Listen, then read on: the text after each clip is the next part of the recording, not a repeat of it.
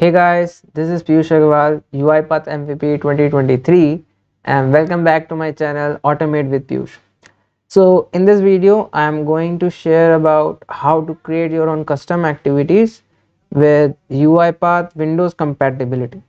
So I know there are videos on my channel for how to create the custom activity, but there is a slight difference between how you we usually did that, which works in Windows Legacy but with windows it's a different thing. Let me show. So when we create a new process in the compatibility mode now we get three type of platforms windows cross platform and windows legacy.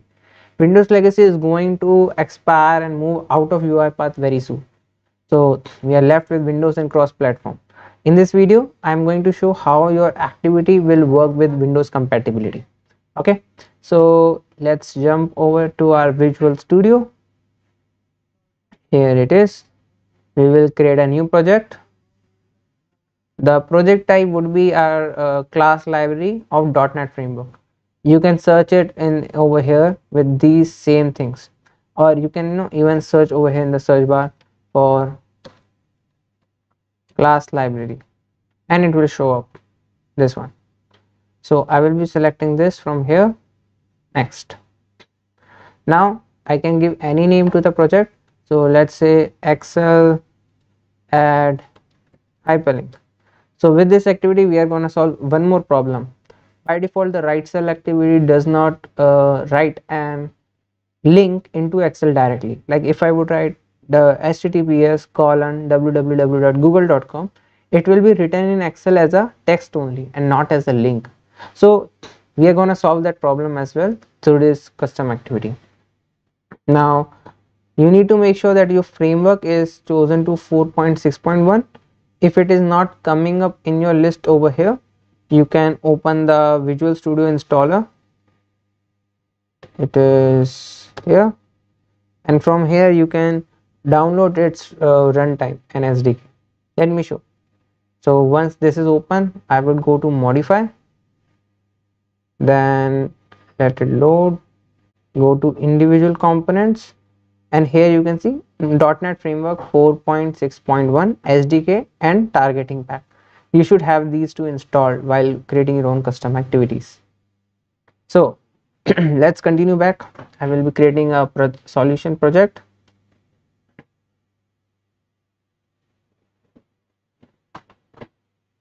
and to save the time I already have written the code so I will be explaining you guys how to write that. And even that is like kind of similar to what we have already built in our playlist. Uh, if you remember there is a video called write cell activity okay that we had created in one of the previous videos. So here let's just copy paste the code. So to now as usual few things are same. Just go to references add reference. Here go to assemblies download system.activities and system.component model dot composition when working with excel uh, in earlier videos we have downloaded com objects. To be exact this microsoft excel 16.0 object library. But with windows compatibility these com objects are going to throw some errors dependency errors or something. So we are not going to use them. These two are done. Now but we still need the microsoft office interop excel module. So to use this we are going to go to project then manage NuGet packages. Browse the same uh, assembly in here. So microsoft.office if i search that first one i got install it. It is going to download all the required dlls and required files into the in our package. This is done. Now going back to our file let me just quickly explain how we have created the code these are the usual files that we use for, for a code where system.component model and system.activities are what we require to work with UiPath custom activities system.runtime.interop services and Microsoft Office. These two are being required to interact with the Excel COM objects. Now I have given a namespace excel.custom.activities. You could give anything. Just don't directly give Excel because Excel would be being used by UiPath as a standard name.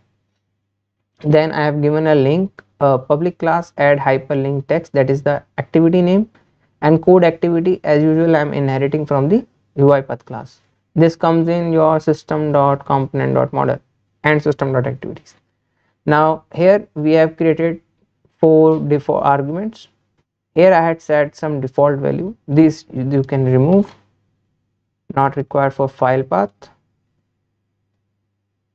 For sheet name maybe we can just say sheet 1 by default now for cell let's say by default its value can be a1 and value would be blank okay that's how our write cell even works now let's see it is throwing some error. So this is not required and this is not required. Okay? This is we are good with the input arguments. There is no output argument in this scenario. Now I have created my void execute method. Here I will be taking up the values for the four uh, arguments we are taking from the user. Invoking their application workbook and the worksheet then here we take the range. This is the cell address. Like if user would give a2 or a2 colon a3 that will come under range. Change its format to at the rate basically to a cell to text. And finally the main thing the this is like the core of this particular activity. Excel worksheet dot hyperlinks dot add where at this range this is the cell value uh, for the third argument since we don't want to pass any value we are saying type dot missing. And excel value excel value here it represents like what you want that link to be look like. Like if i am saying www.google.com it should be represented as same as link or maybe I can write Google over there instead of that hyperlink. So I just want that my URL to be look as it is. And I will close all the objects and release the COM objects. That's it. So this is done from the code perspective. Now we used to do the same things for Windows legacy. So what's the difference between legacy versus Windows? Very slight change. Now code part is done now let's start about complete converting this into a nupkg before that i will have to click on this project file and unload the project this lets me open the .cs project file for this solution. Here some for some it may open by just double clicking on it or if you can right click and click edit project file. Two methods. Now over here in this complete code we need to come up to this system dot activities remove this and update it. Here we need a hint path and uh, let's close our reference tag. Now what is the hint path here we need the path to system dot activities dot dll file. Okay even though if you are using it uh, on any system it will work. Even though over here while compiling you are giving your system username. So I will just give the this file path. To get to this folder you can simply you know uh, search for UiPath in your system click on open file location and then again same thing. Uh, right click over here and open file location. It will open it. The, uh, so again one more information. UiPath gets installed in two places. Either like in this manner username app data local. For if uh, you are installing UiPath for a local user. If you are installing Studio for the entire system, it would be in the C program files and then UiPath. So for now, I have copied the system.activities.dll path and let's just paste it over here. And save it. Done, done. Now let's reload the project with dependencies. Check if there is no any uh, there are no assembly errors or something. And double click. If in any case you are working with any particular assembly which is throwing an error or not over here try to install it from the uh, nupkg okay through NuGet this manage NuGet packages so this is done. Now let's go to build and build the solution. While it is being building it is compiling the dll file.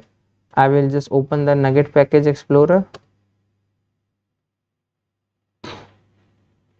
You can ignore whatever this all these lines that are coming as warnings. These does not create any issues with the file.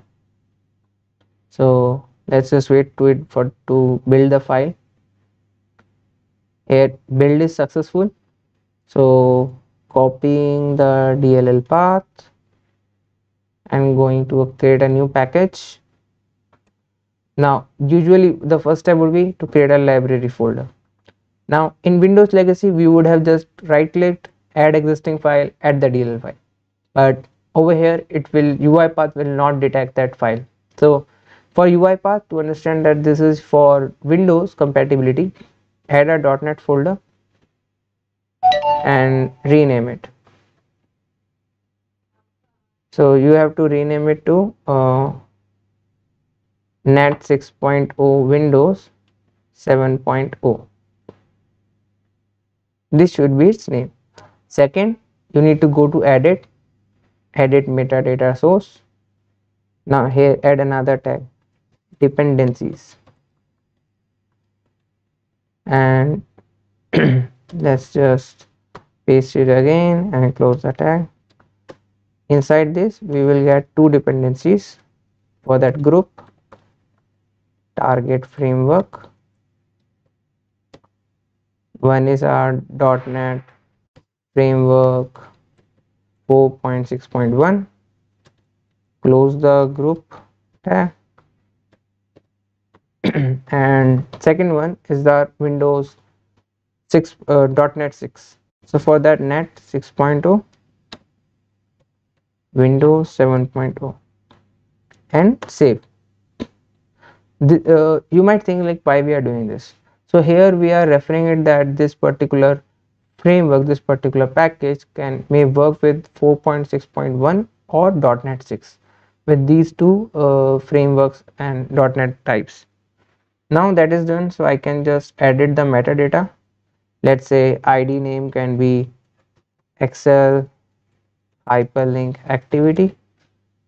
Package version and everything can remain same. Go to file save as. Now let's just save this file. So it says that uh, some contains some invalid characters. So maybe let's just remove the space. And save save as done. So the dll file uh, our nupkg is created. Now next to check is the nupkg oh okay. I forgot to add the file itself. That's the problem. Cool. No worries. So let's reload the project. It's saying empty because I didn't edit the file. So I will copy this DLL file path.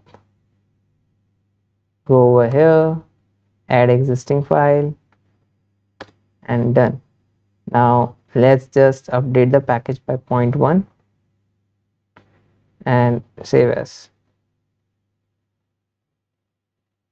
going back manage packages update the package save. Wow that was a really silly mistake creating the whole entire folder structure and just not adding the main dll file.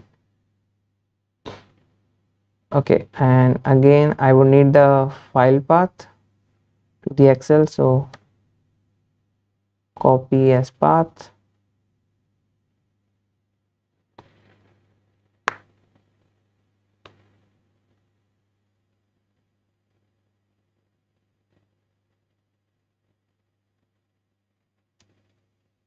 now we go to activities.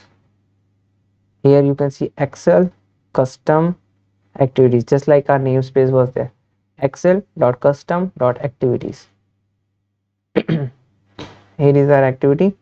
This activity name you can write properly by changing it over here. Okay. Now the default values have came in this.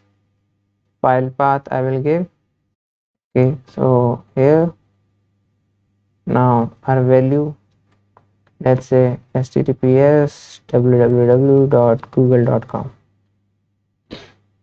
this i wanted e2 also just for the test purpose let's add a write cell activity as well.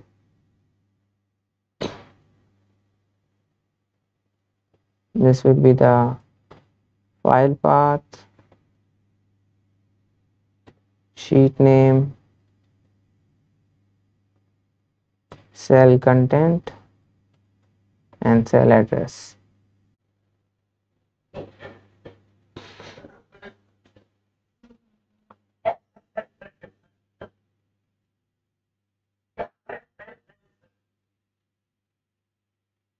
Now let's just check test file so you see the right cell activity it has given even as normal as text whereas as our add hyperlink has given it as a link. So if you even click on it it will open your browser for you. Hope you guys like this video. If in case you are feeling like why do we need to create an hyperlink? It's simply because if you give uh, an output report an excel file to a certain user with some links over there you don't want your user to copy paste those links into his browser. It should be simple as click on the link and the page should open. That's all guys for this video. Hope you guys liked it. Please do like share and subscribe to my channel and connect with me over linkedin. Also uh, one more thing guys. Uh, if you are in jaipur want to meet catch up have uh, sessions or meetups around rpa you can always reach out to me. It's i am always available. It could be a community meetup college meetup college sessions anything. See you guys in the next video. Bye